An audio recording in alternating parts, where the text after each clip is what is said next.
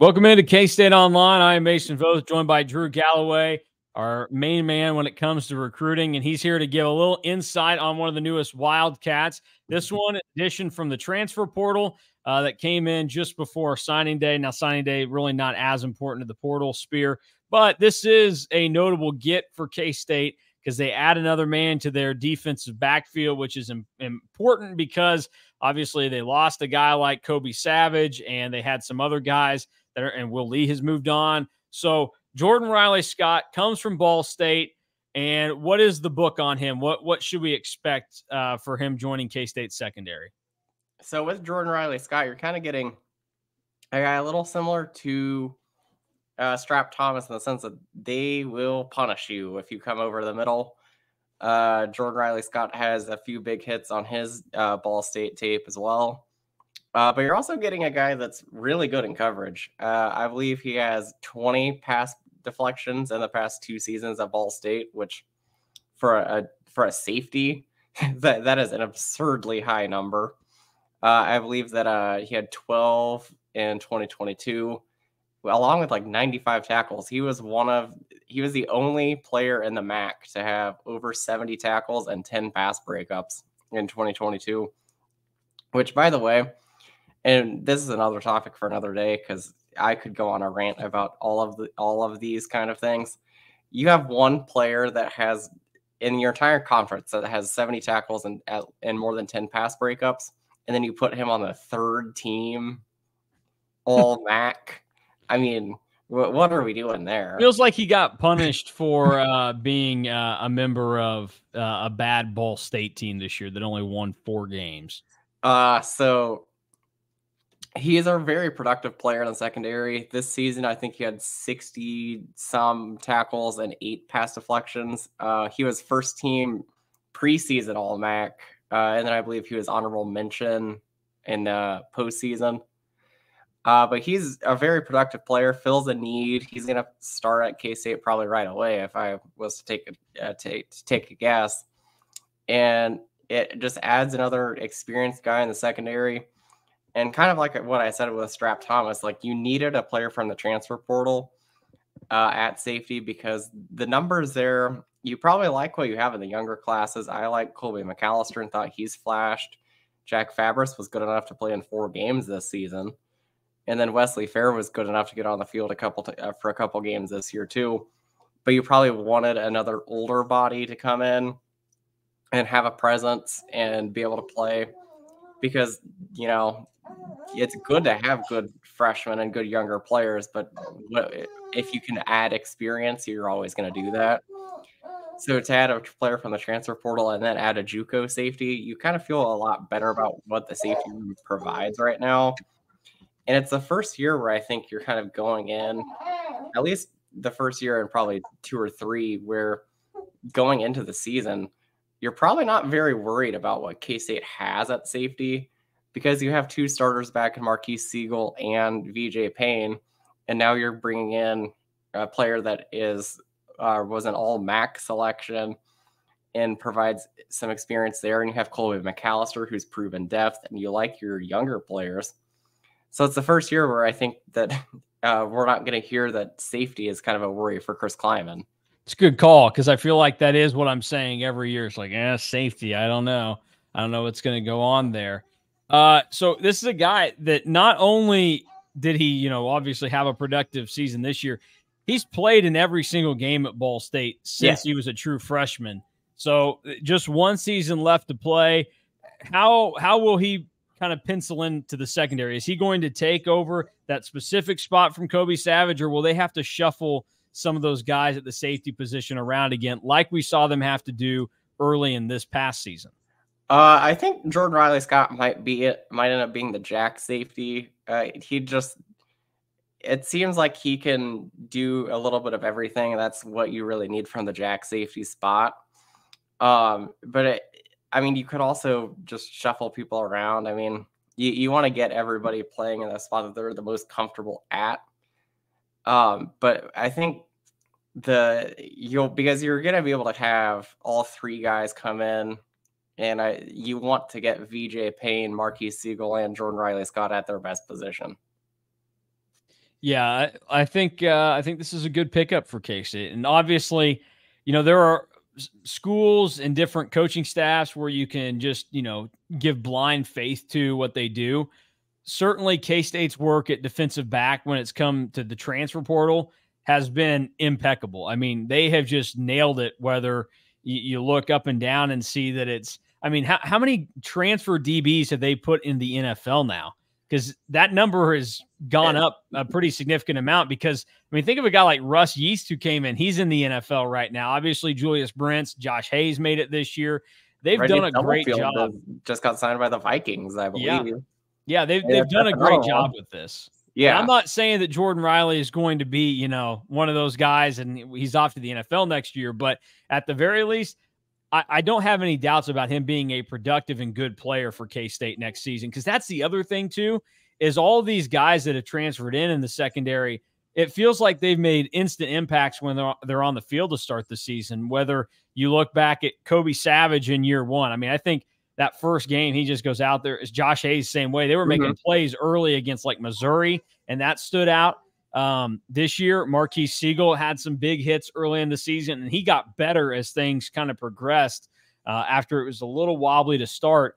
I, I think that this is just one of those spots where K State obviously has an eye for it, and you think about the guys that are overseeing that. Obviously, Chris Klieman, but then two guys that have been around a long time and coach great players and Joe Klanderman and Van Malone, they've got a really good feel for what they're doing in the secondary when they're trying to bring in transfers. Oh yeah, it, it's it's a big testament to uh, Joe Klanderman, Van Malone, and Chris Klieman that they can do and that they can do this in the transfer portal. I mean, you you said that you don't want to say uh, Jordan Riley Scott will be an NFL guy, uh, but I I don't think that either of us would be surprised if if yeah. he ends up being an NFL draft pick at uh, later uh, after next season because of the pedigree that they've had. It's kind of how I feel about Marques Sigle. I'm like, he got better as the season went along. I, I, wouldn't be shocked if he's an NFL guy next year because they just keep turning out NFL dudes at safety, at safety specifically. I mean, mm-hmm. we, we just listed off Josh Hayes, Russ Yeast, and now Reggie Stubblefield and and that and that's just since the transfer portal really opened up the floodgates and started. Yeah, and then also like we can't forget other guys that number one, like another defensive transfer that came in and made it. Timmy Horne has been yeah. a productive player in the NFL the last two years now. And then guys that were already on the roster that they you know that they brought in, Ekow Boye-Doe is in there in the secondary. AJ Parker in the secondary has made it in the NFL DeAndre for a Thomas. while. yeah, that's another, another guy that, that was a transfer that they brought in in, the secondary and has made it on an NFL roster. Like it, it, they know what they're doing when they get an older player coming in. And if you would have told me that K State would kind of turn into like transfer DBU, I like four years ago, I don't know if I would have believed you because like it's just something that at K State like you don't expect to happen. Yeah that they can just turn out guys to the NFL after one or two seasons and make it and make it like in the big time. I mean, Julius Brents was picked in the second round. Yeah, very true. Uh, last thing for you, because we're talking transfer portal here. Uh, what what do you expect left out there for K State in the transfer portal world, and what they might be looking at? Uh, so one player that I really have uh, my eyes on is Antonio Meeks, uh, Division two transfer actually from Tuskegee uh, University, which, by the way, I had never heard of before. Uh, I came across Antonio Meeks' name. Uh, he's a bigger receiver. I think he's 6'2, 6'3. Competition level, obviously, probably not the best at the Division two level but he averaged like I think it was 22 yards a catch his uh, redshirt freshman season, and last year he averaged like 17 yards a catch. So he's another kind of big play guy. Uh, probably not, probably won't wow you with speed, but the one thing that really stood out to me was every ball that he caught. It seemed like it was a contested catch, and that's something that K State's kind of lacked uh, in, in the past with receivers and you want that big receiver that can just go up and essentially box out and out rebound the guy uh, going for a, a, catch in the end zone. Um, another this isn't like a real name because I don't have a name, but this is just a position that I know that they, it has to be addressed. Is at some point they're going to add a nose guard, uh, either from the transfer portal or uh, another JUCO guy. Uh, we don't have names right now, but that that's just a position right now that needs a body. Yeah, and, and it's the one spot where I think that when you look at the whole class as a whole, kind of like I said on uh, our signing day show, where I would be tempted to give this uh, the 24 class an A if they if nose guard would have been addressed a little bit better because not having a high school one, not having a transfer one, not having a JUCO guy, especially when you move Javon Banks out to D end, really makes that room really thin. I think now they only have three scholarship players at nose guard, which is a little frightening considering that they had to use all three that they had this year at times last year or at times this year. Yeah, uh, that's that's a big deal. And I mean, uh, we talked about it when we were discussing the addition of Malcolm Alcorn Crowder. He's a bigger guy, but he's kind of more so in the vein of probably being a bigger defensive end like Jalen Pickle.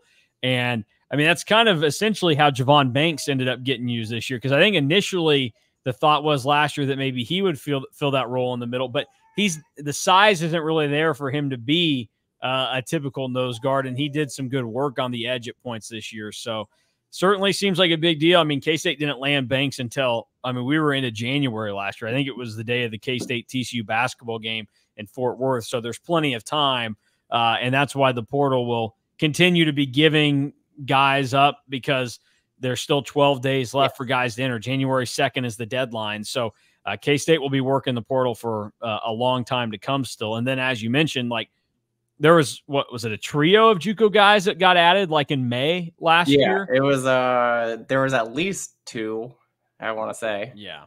There were uh, there were like two or three, and they were on the same day back to back. I remember scrambling to uh, get stuff done uh, as I was at my brother's uh, graduation. So yeah, I was like, oh, uh, better better get on this. So that is uh, good stuff there to note on K State and where they stand right now. But the uh, future roster starting to come together for 2024. And one of the big additions now is the guy that probably going to be playing immediately in the secondary, and Jordan Riley Scott, who had three productive seasons at Ball State. Now he tries to make the jump up a level. Really hasn't hurt K State yet, and uh, they look to add another quality transfer DB. So for Drew Galloway, I'm Mason Voth. Be sure to get all your K State news and recruiting information over at kstateonline.com. Just got to head to On Three. Uh, anything you want on the 2024 recruiting class, you can read up in the signature spotlights from Drew. You can get more videos like this over on our YouTube and also plenty of coverage in the uh, next week because we got a lot of K State basketball to hit on over the next 24, 48 hours as they get ready to face Wichita State. And we also have the Pop Tarts Bowl to look forward to next week. So plenty of good coverage both on the website at On3 and also here on the YouTube. So stay locked in. And thanks for watching and listening to K